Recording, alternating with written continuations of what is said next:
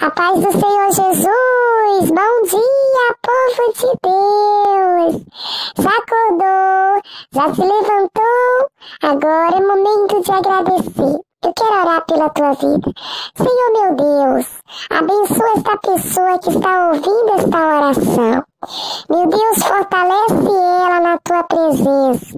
Dá um dia de vitória e guarda ela livrando de todo mal. Amém.